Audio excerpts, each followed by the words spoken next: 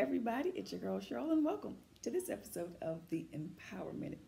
On today's Empower Minute, I want to talk about being lame and still being fruitful. You got it right. Being lame and still being fruitful. So, what is the Empower Minute?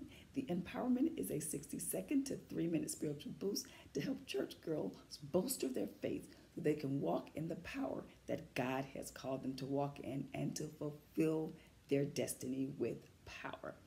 So, how can you still be lame and fruitful? Be lame, um, not have everything that you think you need, not be functioning like normal, like other people, and still be fruitful. I know we're walking through a season that many of us have not ever seen before.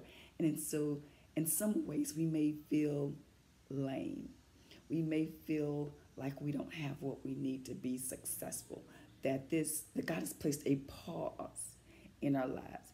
Well, I want you to know that you can be lame and still be fruitful. You don't have to have everything that you think that you need to be successful. All you need is God to be successful. As I was in my um, daily reading, I was reading about the story of David and Mephibosheth. And this is after Saul and Jonathan had died. David was trying to find someone in Saul's household to show comfort to or to show compassion to. The only person that was left was Jonathan's son Mephibosheth. Excuse me, Mephibosheth, and he was lame in both of his feet. And I know most of us have read that story through and through, but one of the scriptures or one of the verses stood out to me, and it's in 2 Samuel chapter 9. And I'm going to read at let's see, verse 11 and 12. I'm going to do both of those. And I'm reading in the message. And it says, All that my master the king has ordered his servant, answered Ziba, your servant will surely do. And Mephibosheth ate at David's and Mephibosheth ate at David's table, just like one of the royal family. Mephibosheth also had a son named Micah.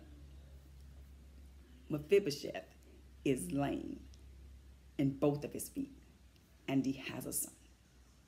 A lot of times we think that our insufficiencies, our faults, and our failures discount us from being fruitful. But Mephibosheth was fruitful. So I want to encourage you wherever you are, no matter what you think your insufficiencies are, no matter how lame you feel in this season, you can still be fruitful.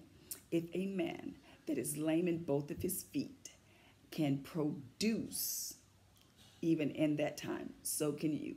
Your feet may be lame, but that doesn't discount the rest of your body. He was lame in both of his feet, but that did not discount the reproductive part of his body. So don't ever think that because one part of you may feel lame, one part of you may feel at a disadvantage. When you have God on your side, you can always produce. You can produce in a recession, you can produce in a depression, you can produce no matter what the outside economy looks like. God has called you to produce. So make sure that you produce in this season. God bless you. And if this has been a blessing to you, I want you to share it with somebody that you know needs this word today. Have a great day.